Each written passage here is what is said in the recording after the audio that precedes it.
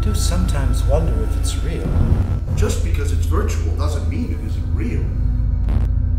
I pretended to be her friend.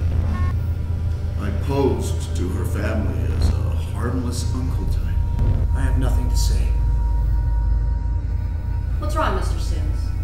Don't ask him, what did you see? What did you do?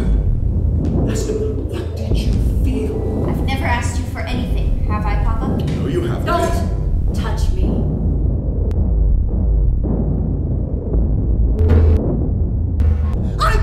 you.